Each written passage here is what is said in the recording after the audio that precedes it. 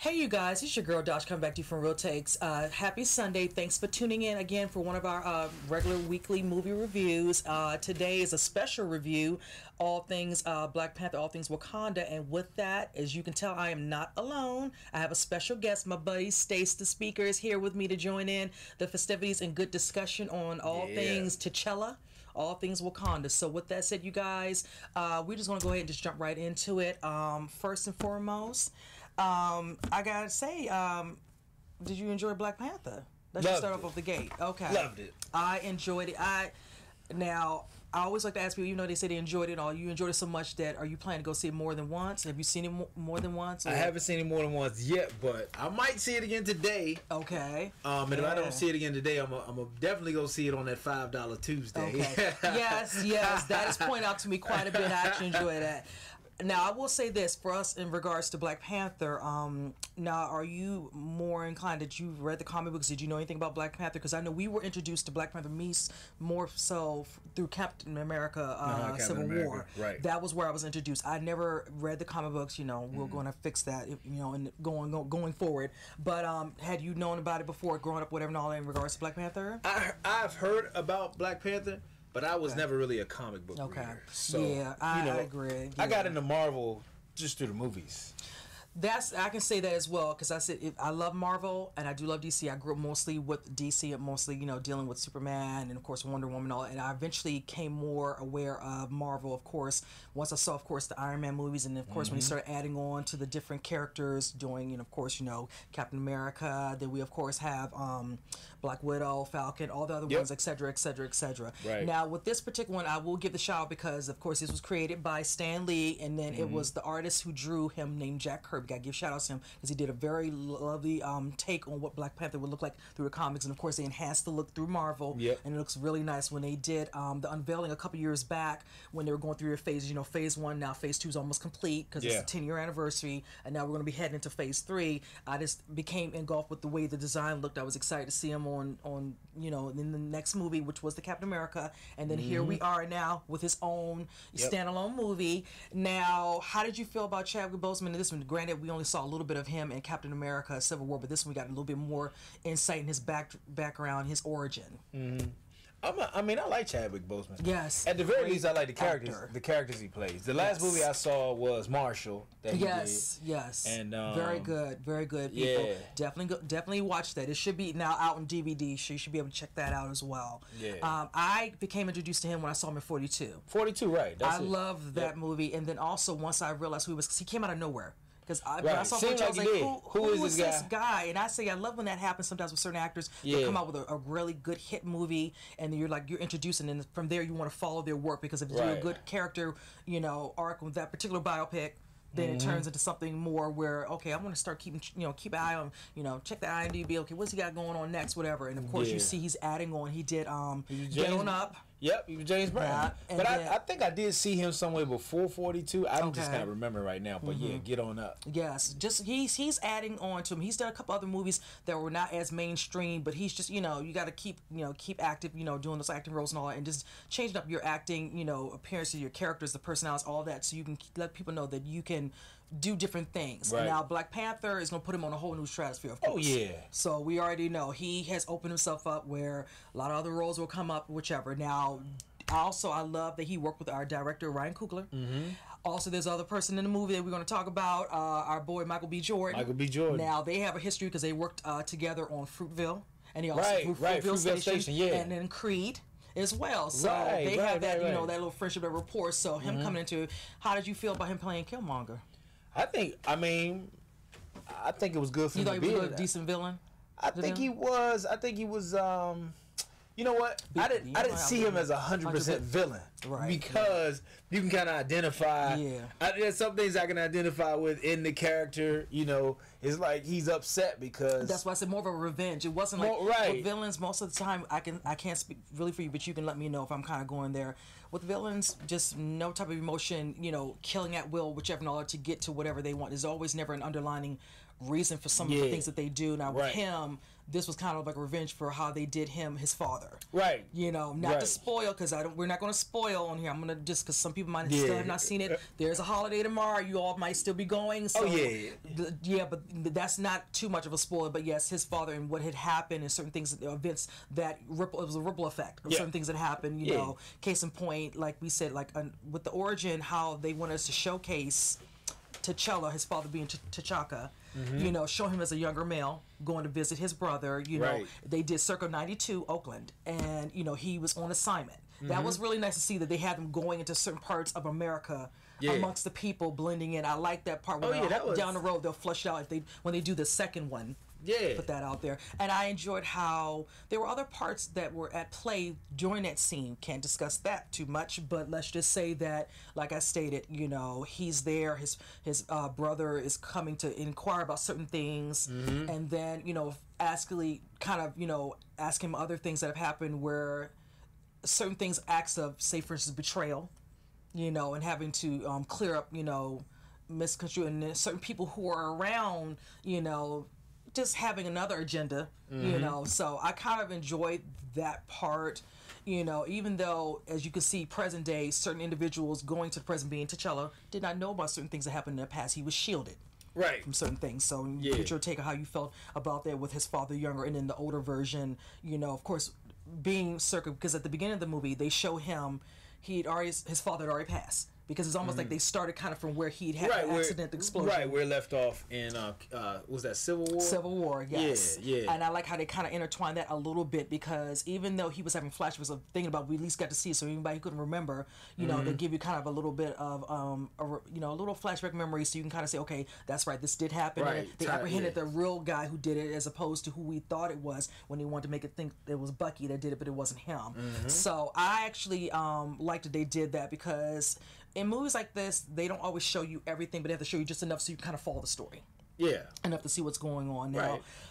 I want to ask you, what did you think about the part when they, of course, will say, you know, the situation with one of the people that's closest to him that he really cares about when they were heading back the scenery of Wakanda when they showed it, and we finally got to see what it looks like techno- technologically. How did you Mm. feel about the overall?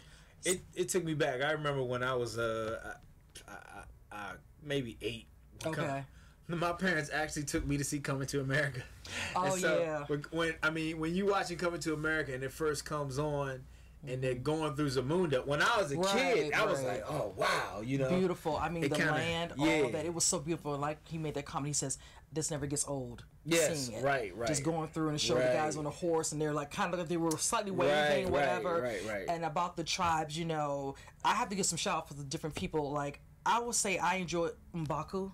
Mm-hmm. I enjoyed it, even though I will say I wish they'd flush out a little bit them a little bit more, like you know, in regards to the combat and the battles, the fighting Mm-hmm. sequences, a little bit more of them. Even though they did the one that they did when he came back to become king, you know, they have to, you know, they they ask them all out there, is anyone going to, you know, go into combat, go, you know, battle him for Mm. the throne. You know, and of course, Mbaku comes out and he has to, you know, his speech to him and all that. He's like, okay, I challenge you. You know, your challenge has been accepted. And that fight was good, whichever. It was the proper way. Because as we all see in the trailer, whatever, there's Mbaku. yeah, Put yeah. little screenshot, Mbaku. Yeah, he- Um, just his banter. I loved, uh, his name is Winston Duke in real life. He played that part very well. I enjoyed him. It was. It was. A, It was a good character. it was a good in there. It was. character. It was a little bit of comic relief. yes. But he was serious too. Right. I like the way that they um even even when you go and you see uh when they take you to his home Yes. and you're and you're in there. I mean, like the scenery. Yeah, you know, and, and then they, of course, they mountain people, Yes. and it just uh, it gives more of a range to what you you know in your mind what you And think as exactly. African or um, Right. that experience or, or and I liked it because they chose not to be. Remember, we were um, were talking prior how at the beginning they give you an understanding of how they had end up getting the vibranium due to you know meteorite and things of that nature, Mm-hmm. and how they chose to stay a part of it. They didn't like how when he utilized this, whoever was the king or the you know at the time, they were like, we don't want no part of this because it's almost like everybody surrounded them, and it's like you all were kind of flushed out. So he's like, you know, we don't we want to stand apart from you all. That's Mm. kind of why they kept themselves away from them the way they did the stuff with their technology, and that became an issue now. I won't go too much into the political part, but we'll just say that some people, even when I read some comments about this, some people thought it was very political. No, not really. There was sort of subtle, subtle things in it, but a lot of the other movies for Marvel were political and certain things that they brought very, always very slightly uh, shielded and subtle in their tone and wording. Even with um, Right. Waku, Daniel Kaluuya's character, talking to Chadwick about wanting to do more because Nakia's character, played by Lupita, makes comments like, you know, we, we have all this technology, we have these things, we can help Mm-hmm. Other, you know, our, you know, our people, other people, and all that. Let's do this. We can make it better. Yeah. And I agreed with her. It's like you're keeping all this, but he's like, there's a certain way they go about doing things. Mm-hmm. How did you feel about that? You thought it was too much, too much of politicized when they were having discussions about that. I think that you can you can talk and make that Yes. a political thing, but I think Yeah. that's real life. Yes. You know, so when when they were talking about, I mean, they said a couple things like that that they dropped into the movie. And like, our the people- audience, I heard some of the audience when him and Waku were talking about certain people who are outside there, you know, coming in and how things would be. Yeah. get- oh, yes. Oh, oh. Some I heard that over my. the- I heard that over Yeah. my shoulder. Like somebody was like, "See, they about to let them in, and they can yeah, come steal everything." just like, oh. so that's definitely Right, those. that phrasing, I Yeah. somebody was like, mm-hmm. Yeah. I was just like, oh gosh, but you know, but, but for me, listening to them talk about how uh, there was a line like I, the, people like us all over the globe, wherever they are, Right. are oppressed, and I was Right. like, man, they dropped that line in there. right. That can be political, Right. but but there still is, is a lot of truth to that. Right, and um, right. I I, like the way that they wove that into the Yes, story. yes. I, I, I liked it because So much at the end, right? it is it's not um I don't know. It just it made the story deeper. It gave depth to the Yeah. story, and it and it and it sort of attracted me or kind of bonded me to the story because they took that common experience. Yes. You know, something that's true for really all of us in some way, and Mm-hmm. um and they put it into that story. It was like, man, they, they sort of they, they did a good job merging the reality of Yeah, it with the fantasy, and I think that that I don't know, it just added a lot of depth to the story. I do. Now, let's just get into the action part. Now, how did you feel about Danai, aka Michonne, aka Okoye, Yeah. General, right, his um all female army? Loved it. I loved loved her. it. Oh yeah, I just Oh, yeah. love how she carried herself and just in being in charge and making sure to Yeah. take care of him, take care, of, make sure Yes. her her army takes care of the princess, his mother. You know, just everything about just her banter and the way she came across, talking to them, just in discussions. Yep. You know, the scene at the club. yep. Can't spoil too much, but let's just say a very good action sequence with her. Yeah, yeah. They only gave us a little bit in the, in the trailer. Let's just say it's a lot more to that scene than Yeah, you it see is. I with her spear. Yep. You know, and then I can say I had a, a fun time watching them when they were doing the car scene outside. Oh, yeah. When they were coming after him. Yeah. And let's just say, not to take away from her, Andy Serkis was hilarious playing Oh, yeah. Yeah. He's not within all of the movie, but he has a significant role that he plays in the movie in regards to dealing with the situation with the vibranium. We'll say because if you all remember Age of Ultron, you should already know what we were discussing in regards to that. So that's too, that's not spoiler there, but it is kind of in regards to vibranium. It just expands where it's helping Right. him because you goes he lost his arm, and if you all saw the right. trailer, not giving that away, you know he has an enhanced arm that has what looks like to be vibranium, whichever, and all that, and he's trying to sell it to the highest bidder, certain parts, whichever, and all that. Mm-hmm. Unbeknownst to people, he's working with a certain individual. You know, in the movie. Now, I love his little scenes, and just I like that he's not doing CGI stuff because we see him in Planet of the Apes and everything else. So now we get to see him full fleshed out, Yeah. playing a role. Because I'm tired of always seeing him behind the scenes. So to see Andy Serkis just playing a good character and more lively Right. than he was in Age of Ultron was smaller, but this was a little bit more in depth and more longer. Was fun. But Mm-hmm. Yeah. their scenes with the the car chase and all that was Shuri and her brother that were fun too. Oh yeah, that, that whole brother sister thing was great. I really enjoyed love that in the movie. Shuri, Letitia Wright did awesome playing the sister. Oh yeah. And she does look like she could be young. Now, granted, they said her character's supposed to be, what, 16, 17? The way they had her look, hair, face, she could look like she was young. Because I think she's in her Oh, I was sold. I was sold. I yeah, thought I, this was because at first. I was not sure when I saw her at the Comic Con. I was just like, really? She's supposed to play a teen? She did but a when you see her in the movie, yeah. Yeah, she- yeah. she did a good job. Oh, there's so many different scenes um, with her and him. You know, I can tell they had a lot of fun. I, I keep thinking they probably had to do those scenes over and over again because literally we were having too much fun when they were doing them. You know, her, you know, coming at him or doing certain scenes when he's looking at the different suits and she recording him in. Oh, certain yeah. scenes. Those was really funny. natural. It was really natural. It natural. was. It was, and I'm looking forward to hopefully them, you know, developing her a little bit more and showing more. But I love that she was very uh, good at technology. You know, very high with her Yeah. computer. That was awesome to see that she was the helm they they, they did women right this movie. Yes. Even yes. even even with the all women guard, which was like the coolest thing. Yes. They still were feminine, and that's what I loved about it. They weren't they they they were tough. You Yes, they They were. were like uh, they were in charge, no doubt about it. But they I- still, it didn't seem. I, I don't know. They just it, it kept a good balance of. It didn't seem like uh you know. Uh, Black Panther was pushing anybody around because he's the king, and it didn't seem like that. You know, uh, Mm-hmm. Well, women run the world. Or, you know, it wasn't like that. Everybody played their part. Right. Nobody was above anybody else. Right. And it was and it was a strong front. I really enjoyed that part of it. Yes. Now really did. for Michael B, a good old Killmonger right there. I would say um, I enjoyed his scenes a lot. Um, I hate that you know he felt the need. It was all about revenge. Like okay, he all those other people were not aware of certain things that were happening that affected him. That's why I said I don't want to spoil too much. But needless to say, the way things happened towards the ending. I wonder if they could have went another direction, if you know what I mean, with what happened between him and Chadwick. You know, so much they could have done, whichever and all that. I don't know. We could say, But, you know, but, but looking at it though, like after the damage that would have been done, you think? it's, you it's I don't know. I you know what it, to discuss what I think may give too much away from Yeah. the, from the movie, but I don't necessarily see it as a closed book. Okay. I, not necessarily. You Okay. know, Okay. they, they can they can kind of do things. But you you mentioned fun. Fun fact is. Uh, the Lord of the Rings cast in this movie. Yeah, you, yeah. You got you got the Hobbit and you got uh, Gollum in that movie. yeah, we're talking about Andy Serkis and Martin Freeman. Martin Freeman's character was really good, um, especially we already talked about him in that little scene with him and Mbaku. He was like, you know.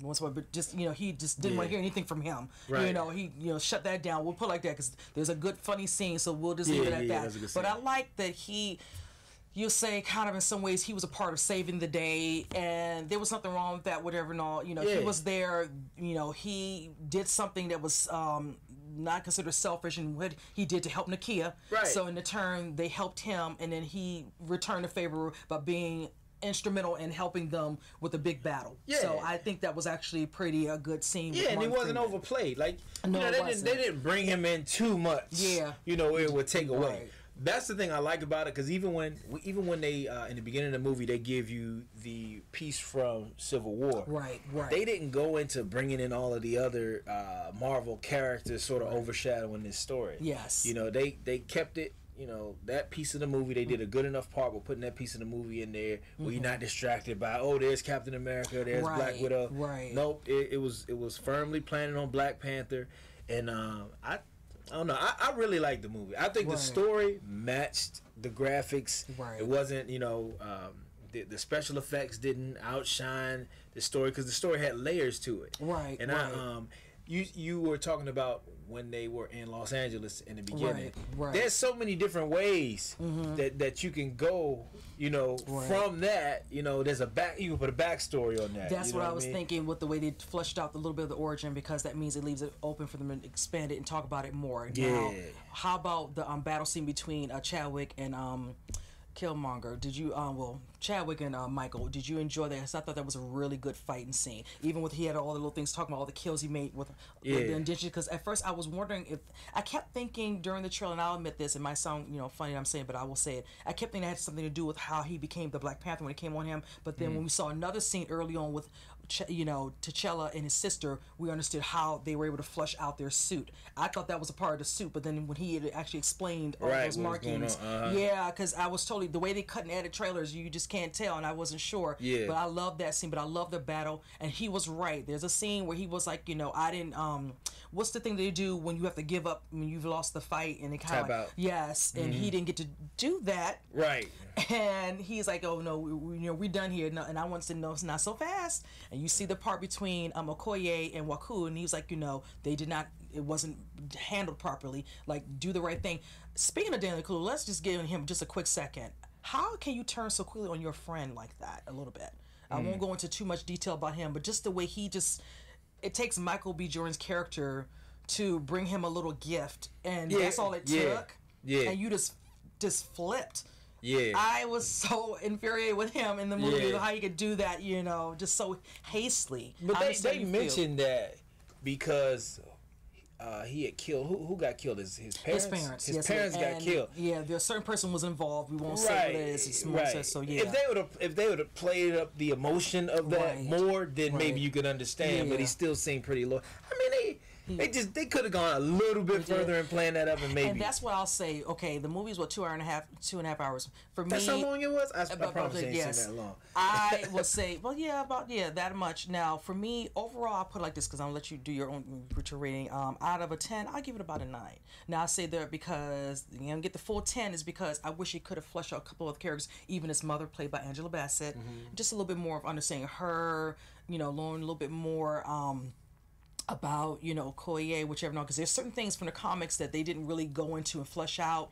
They basically you know talked about her being a general, but there's some other things we didn't know about. I want people who, if you comment, let me know if you know what I mean, whichever. And I don't want to put that in here off the gate. Um, then us- also a cool, a little bit more understanding, more discussion. We understood a little bit of Nakia Lupita, you know, being an activist, wanting to do things for the community, whichever, and all that, and her having being the ex girlfriend, you know, and him having that little banter at the beginning where they were like, "Don't freeze," and we finally knew what that meant. Yeah, right, right, That was right. hilarious. I thought that was funny because Uh-huh. he did.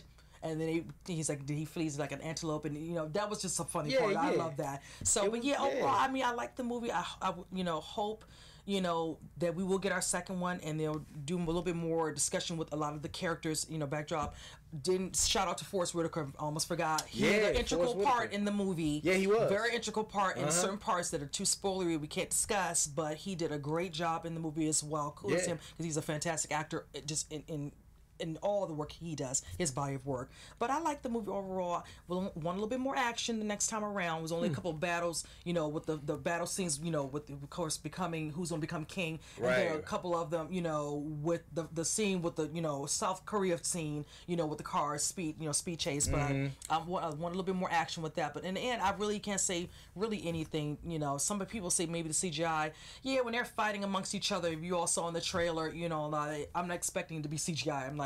What else would it's gonna be? It's not gonna be physically. If they're falling in some, you know, made up Wakanda, it's gonna look like that. And I caught a couple of that, but that wasn't anything that really bothered me. You know, it is what it is. You Mm. know, but and, and I liked it. What did, what did you think overall with the movie?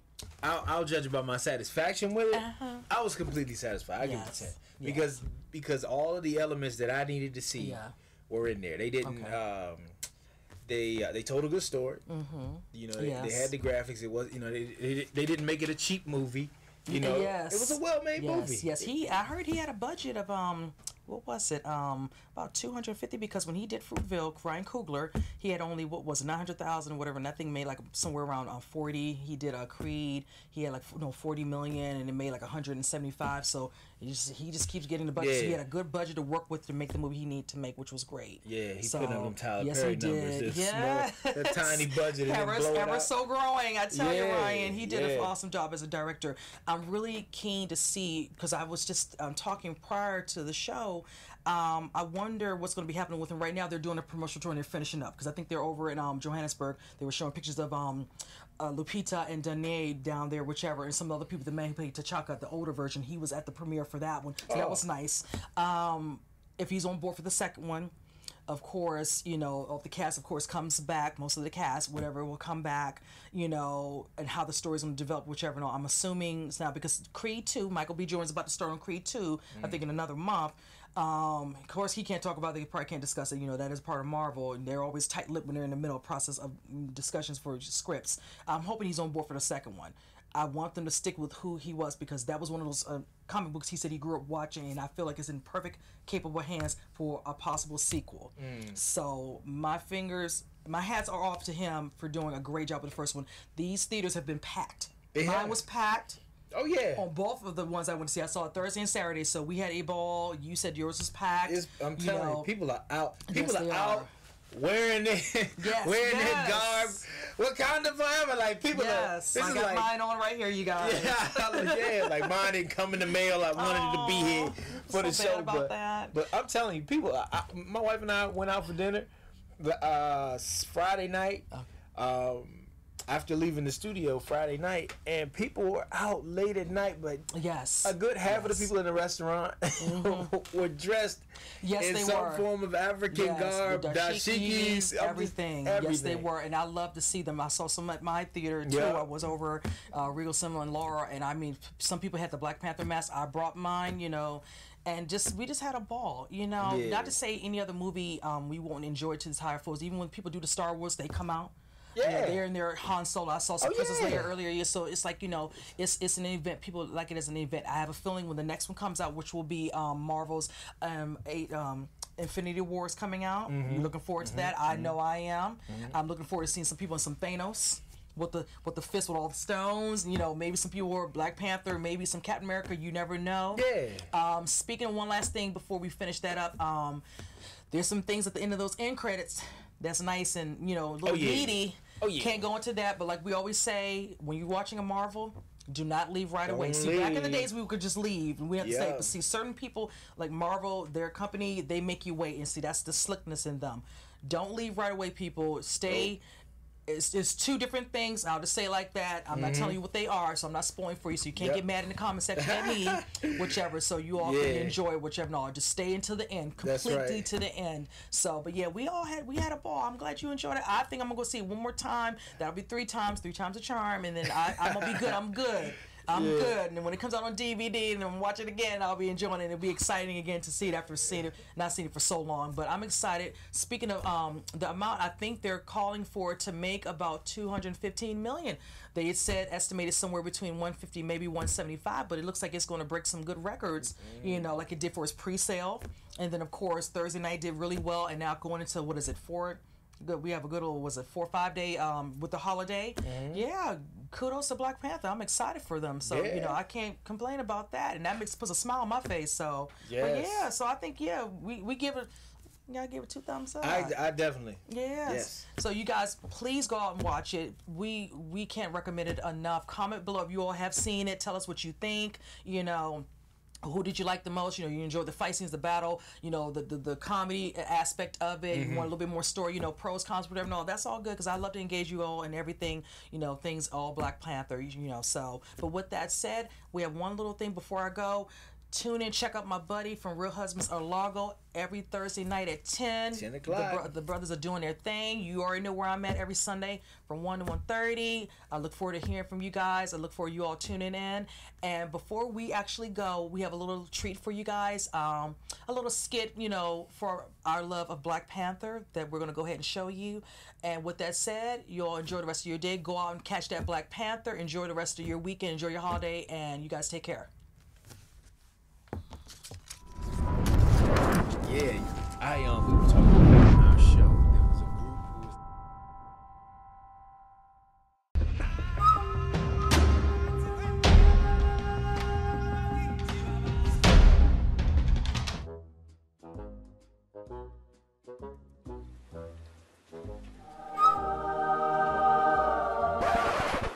Hey, hon, what you doing? You know what? Whatever. Um, I have the packages that we need to take care of our errands, so I'm about to go out to the car. I'm ready whenever you are.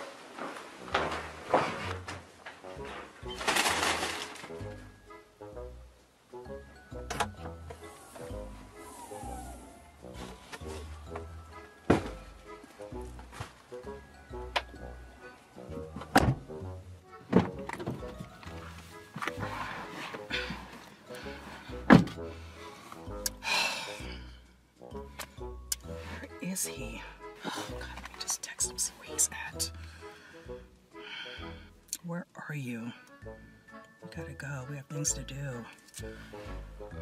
Ah! Oh my God! What are you doing? Get off the hood! You know what? That, that's it. That's it. Hun, get off the hood, honey. The neighbors can see you. What are you doing? First off, hun, hun. All I gotta say to you is this: get, get get in the car, please. Please get in the car. Okay. Thank you. First off, you're not T'Challa. This is not Wakanda. Your movie comes out in one more week, hun. Can you save the fanboy for that time?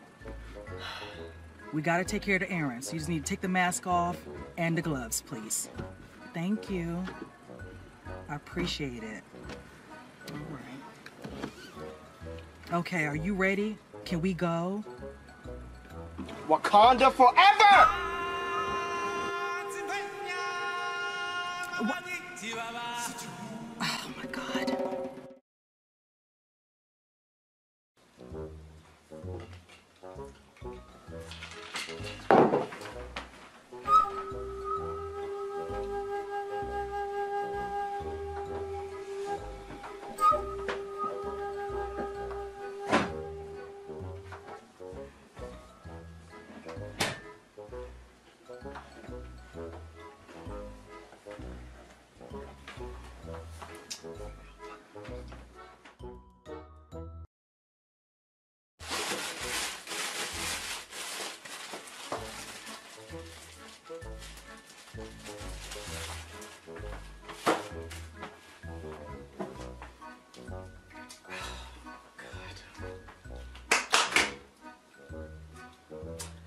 Hun, can you come in here for a minute? I need some help with this jar.